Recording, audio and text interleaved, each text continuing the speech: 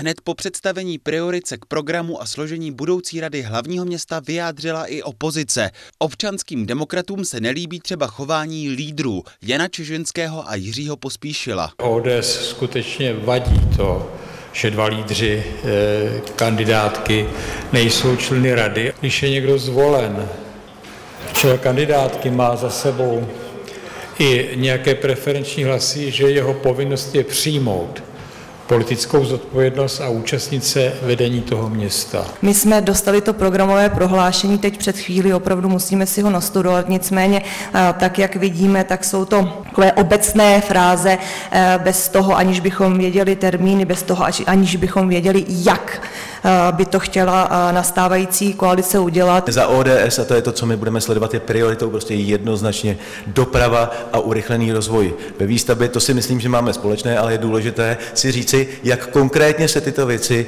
naplní. Po ODS přišlo s kritikou i hnutí ANO. Podle lídra Petra Stuchlíka některé programové body prodlouží dostavbu městského a pražského okruhu. A nyní vidíme městský okruh, musíme do toho zapojit Holešovičky, což je plus, jak říkám, 3 až 5 let vůbec v té, nejdůležitější části, tedy výjezd, výjezd z Blanky. Pokud je o pražský okruh, tak už si tady čteme, že se bude, že se bude diskutovat severní, severní trasování, tedy nedočkáme se i dřív než v roce 2050.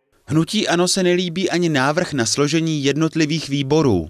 Z toho návrhu, který zatím vyplývá, a je to návrh, předpokládám, k jednání o složení jednotlivých výborů v poměru 6 k 3, tak si myslím, že neodpovídá volebnímu výsledku a připomínám, že předchozí koalice měla 5 4 ve, ve svůj prospěch. Ano, také upozorňuje na to, že některé body programového prohlášení už jsou před dokončením.